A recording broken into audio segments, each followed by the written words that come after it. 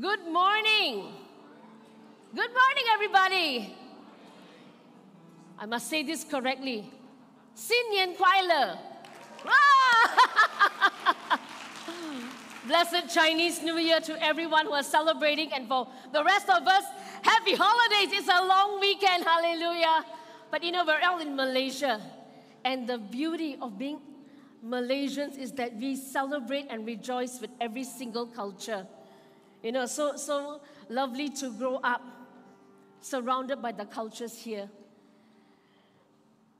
I think this Chinese New Year is extra special because it's been a long time since so many of you could gather together. Amen.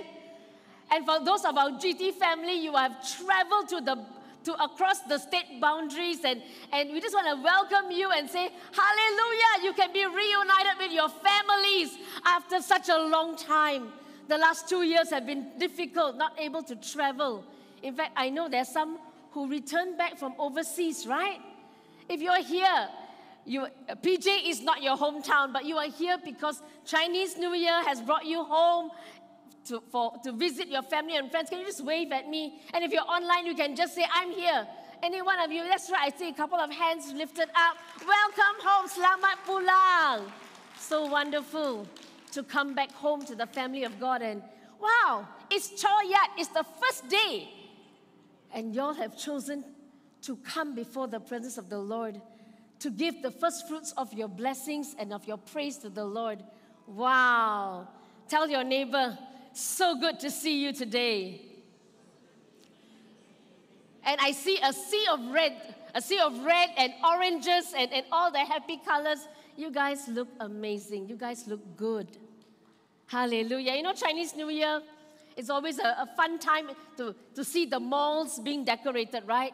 all the lovely decorations and you wonder like okay what kind of new things will they come up with and they're very creative and there's always the, the songs there's lots of decorations and songs and of course at the home front all the special food comes out right some of y'all only cook this food once a year wow and once a year everybody looks forward to the special dishes by the aunties and the uncles and it's such a, a joyful time and of course for those Younger unmarried ones. Huh, what time is it? It's time for Ang Pao.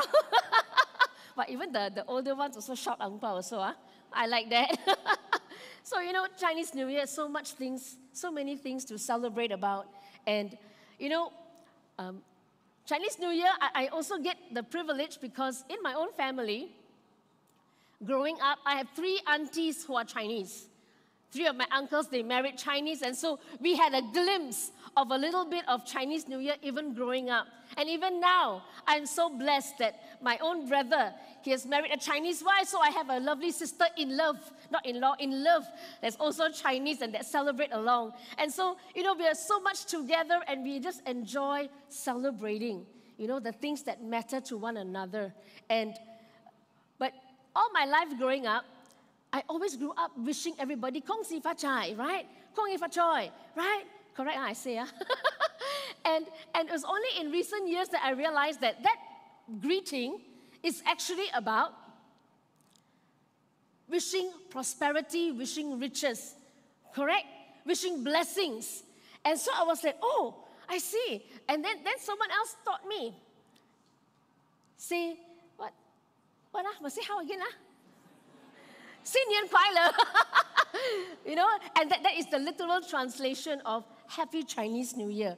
And but that got me pondering. It's not that that receiving blessings is wrong, because you know what? God wants to bless his children. Can I hear an amen? But we need to understand, get the right understanding, the right aspect of what God's blessing is all about so that we don't have misunderstandings in how we, we expect the blessings of God. So today, I'm going to share with you about blessings unlocked. How many of y'all want to have your blessings unlocked? Amen? Amen. We want to get the blessings of the Lord unlocked. Let's pray before we, we go ahead. Father, we just want to thank you, Lord, for you are an amazing, amazing Father, and we love you. We thank you for the privilege of calling you Father. And Father, we ask for your presence to be with us, even as we, we get into your word to understand what your blessings are for every one of us here today. In Jesus' name we pray. Amen. Now, why is it important to understand about blessings? Because there is a very dangerous theology out there. A theology which talks about prosperity. It's called the prosperity gospel. Some of you have heard of it. And it's very dangerous because it only focuses only on one element and that makes it seem like as though God owes you a promise of continued riches. God owes you good health. And it's, it's a very skewed theology. And it is a theology that is contrary to many of the things in the Bible. So it's very important for us to understand what is God's understanding of, what's God's uh, measure of blessings for every one of us. Now, the theology of God's blessings is far, it is deep, and today we cannot go into all of it. That means you all must cancel your lunch plans. Anybody want to cancel lunch plans? I don't think so. So I will be brief, but I want to just share. I want to just share this morning on what are the blessings and how we can correctly position ourselves to receive what God has in store for every one of us. Now, blessings has always been God's plan. When God created the world, in Genesis chapter 1, when He created every living creature, when He created man, He blessed. He blessed the earth. He blessed every living creature. He blessed man and, and woman as well. He said, Go and multiply go forth. He blessed them. It was always in God's heart to issue blessings over his creation. And then, furthermore, in Genesis chapter 12, he singled out a man by the name of Abraham. And he pronounced a blessing that continues on across the generations. I just want to read to you from Genesis chapter 12, verse 2. This is the Lord saying to Abraham, I will make you a great nation, and I will bless you and make your name great, so that you will be a blessing. Verse 3 I will bless those who bless you, and him who dishonors you, I will curse. And in you, all the families of the earth will be blessed. Now, we need to, to really understand this, this verse the Lord's blessing is so that you will be a blessing. The blessing is not to remain with us, but is to be channeled out to be a blessing. And in case Abraham didn't get it, the Lord further explained it in verse 3 and in you all the families of the earth, not just your own generation, not just your own lineage, but all the families of the earth is to receive the blessings because when the Lord blesses, He blesses so that we can be a channel to not just our own generations, not just our own families, but to the families of the earth. Hallelujah. You know, when you get a missions pastor to preach for you on, on, on CNY, everything becomes missional. Hallelujah. But it's not me, it is in the Word of God. God's blessings are purposeful, church. God's blessings are missional. I'm going to say this one more time, and I hope I hear more amens. God's blessings are missional. Hallelujah. God's blessings are for us to go forth and do what God wants us to do for the kingdom. Ah. Now that we understand the basis of the blessings, I believe we all need to learn how to unlock the blessings that God has for every one of us, you and your household. And the first thing, very important, the first point, you need to be convinced of God's blessings. Be convinced of God's blessings. Don't you like this, this, this picture here? It's so marvelous. It's a, it's a, I love that the, our Mac, Mac team, media and communications, they, they really take it on. I don't have to direct. Let's give God the glory for an amazing team, yeah? So they came up with this concept of a keyhole because when you unlock, there's so much beauty that lies ahead of you. So that's why it's so important for you to take note of how you can unlock God's blessings. All right, so be convinced of God's blessings. Romans 8, verse 31 and 38. I'm going to read to you briefly right now. What then can we say to, say to these things? If God is for us, who can be against us? And going on to verse 38 For I am sure that neither death nor life, nor angels, nor rulers, nor things present, nor things to come, nor powers, nor height, nor depth, nor anything else in all creation will be able to separate us from the love of God in Christ Jesus our Lord. Church, you must first be convinced that God loves you. When you are convinced that the love of God is so real, then you can be convinced that as much as you love your own children and you want to bless your children, when you are convinced of God's love, you can be convinced that God indeed has plans to bless you. Amen. You know, along, along life's journey, different things can happen to us. Different situations can make us feel like as though we have let God down. Maybe we have done things that we know was not pleasing to the Lord. And then the, word, the voice of the enemy says, Confirm you cannot get God's blessings. Confirm one, God doesn't like you, God is not happy with you. And we forget that God is a God of love who still forgives when we come to Him. There is restoration in the love of God. Nothing can separate you. There is nothing any one of us could have done that could ever separate you. And don't let, don't listen to the lies of the enemy. Don't listen to all these things. Listen indeed to the word of God. I, I struggled with this area.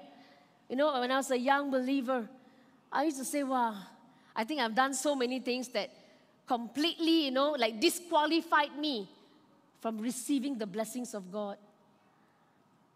And, you know, that's why I read the Bible, pray every day, really really, you know. And then when I was reading this word, and at that moment, the Spirit of God just convicted me and just said, Sue. The Holy Spirit don't call you Pastor One, you know. Holy Spirit said, Sue. Don't you know I love you? Just come to me. Nothing will separate you from my love. And it was just a simple message, but I believe some of us here, we need to understand that you know, the work of the enemy is to make you feel condemned, but the work of God is to make you feel restored, to bring you home. So if that's you, even this morning, whether you're in on site or online, I want to speak to you and assure you that God loves you and God wants to bless you. Be so convinced that God has a plan for you, that God has a blessing for you because God has positioned you to be a channel of His blessings in the world out there. Amen. Number two, after you are convinced to receive God's blessings, we need to recognize. We need to recognize God's blessings. What does blessings look like? Does blessings only look like a brand new car? Does blessings only look like a very handsome young man who proposed to you? I still waiting, you know. Okay, anyway. what does blessings look like to you? Joy, that's right, I love that. We need to recognize God's blessings. I want to just leave a few verses for you to know that the Word of God is here. That's why you need to read the Bible every day. This is the equipped pastor talking now. You need to read the Bible every day you know, not as a routine, but because you are hungry. God, I need your word to bring me through. And so, here are just a few of the nuggets to remind us how the blessings can look like every single day. Isaiah 41, verse 10.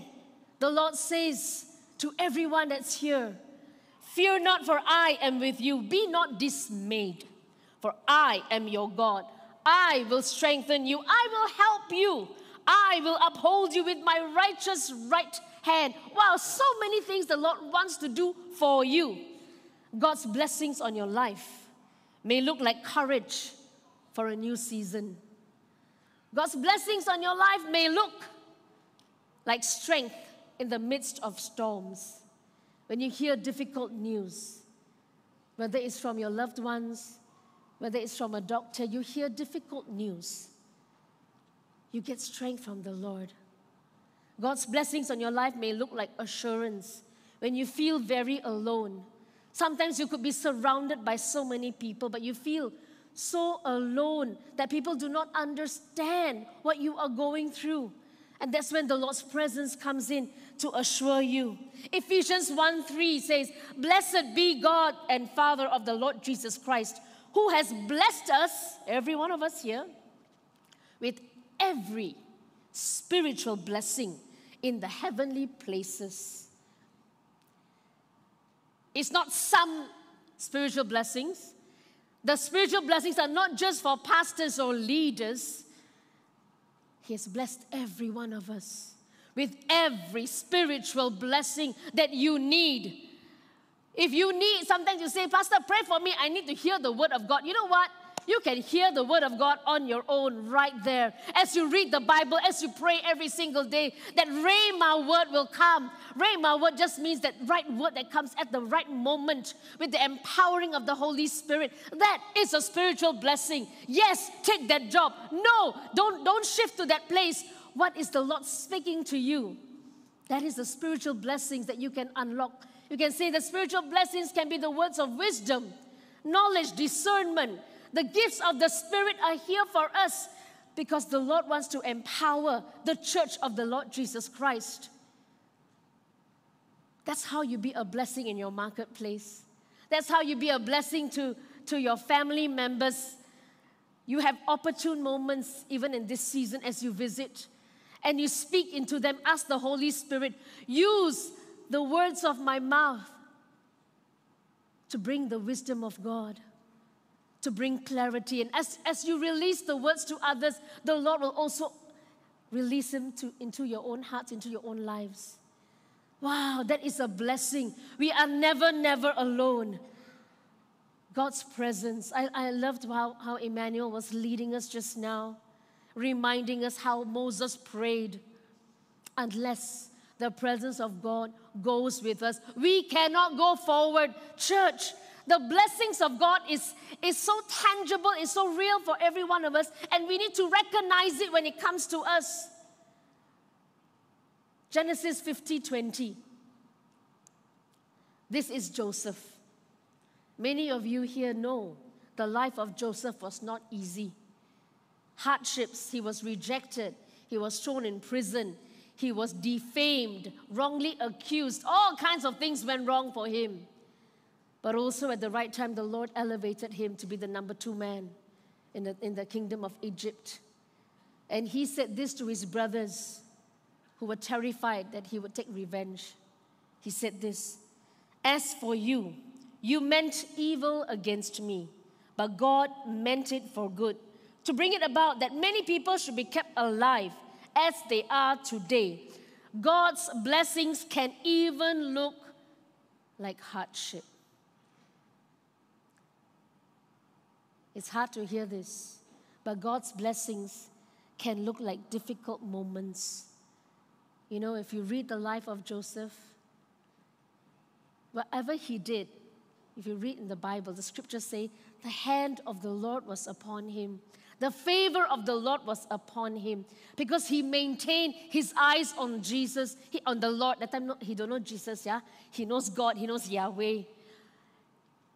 When you're going through difficulties, ask the Lord instead How can you turn this around? How can I be a blessing in the middle of my difficulties? How can I reach out to someone even in the middle of my pain? We don't know how the outcome is going to be, but you know what? When we begin to trust in the Lord, I believe that every one of us will be able to resonate with what Joseph said right here. God means it for good.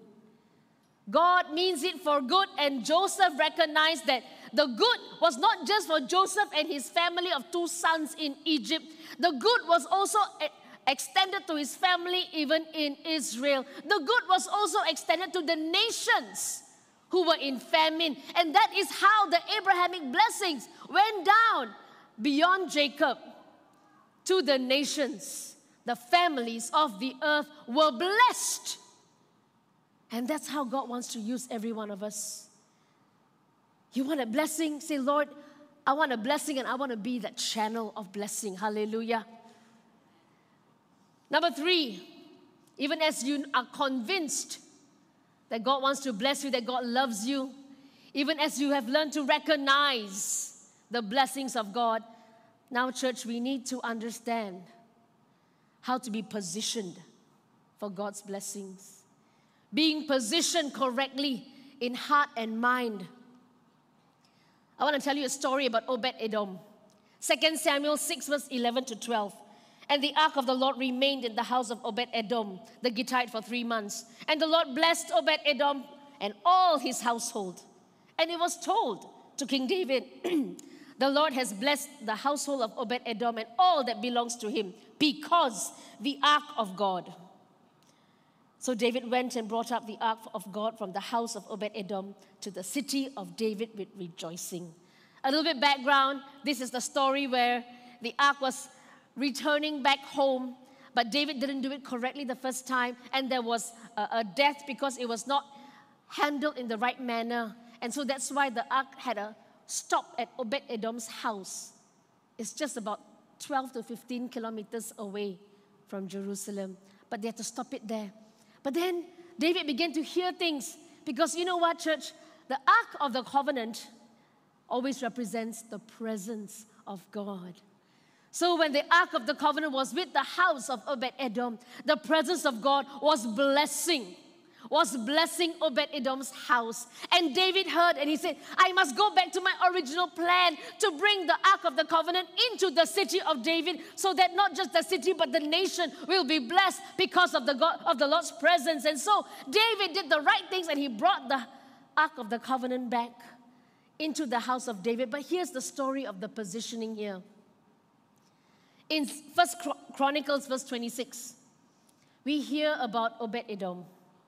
And Obed Edom had sons, eight sons altogether Shemaiah, Jehozabad, Joah, Sacar, Nathanael, Ammiel, Issachar, Peullethai, the eighth. He had eight sons. And then it goes on to tell us that even Shemaiah had sons born to him, and they were men of great ability. In fact, later on in that chapter, it says the entire household of Obed Edom had 62 males of great ability. Because you know what? And he became a gatekeeper. He became a gatekeeper in the house of God. He basically shifted his entire household to chase the presence of God. He moved his position, hear this, he moved his position to run after the presence of God, to be where God's presence was. And for that, he said, I'd rather be a doorkeeper than to be a landowner. I'd rather be found where God is. And the Lord honored him, honored him and his eight sons they all became servants of God.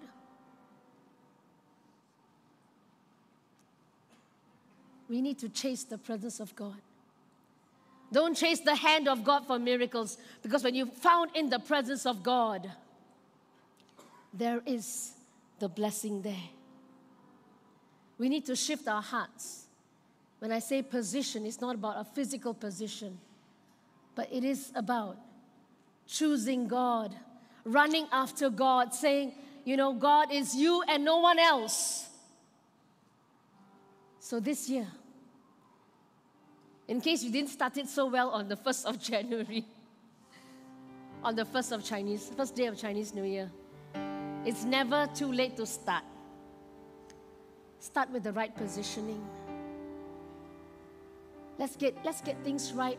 Understand what it is don't chase after what the world calls blessings. Don't chase after the material things, but chase after the presence of God because there's there is completeness of the heal, uh, of healing that, that there is you know different kinds of breakthroughs and in the difficulties there is a way to bless the nations bless the families for you and your generations. It's not just for you, it's for your generations. And that's what God is calling us as a church. As a church to receive the blessing so that we can bless the families of the earth church. We sing this song very often, and we're going to sing this song in a little while. But I want, to, I, want, I want to just read this out to you from Numbers chapter 6. Just close your eyes. Because this is a blessing, a priestly blessing. The Lord bless you and keep you. The Lord make his face shine upon you and be gracious to you. The Lord lift his countenance upon you and give you peace. Now the worship team is going to sing this over every one of us. I want to encourage you just to stand up. And even as you sing it, you are singing it to the family of God here. And when you're right at home there, I want to encourage you to sing it and proclaim the blessing of God over your household for the generations, not just to receive the blessing, but to say, Lord, I want to be a channel of your blessing to the families of the earth.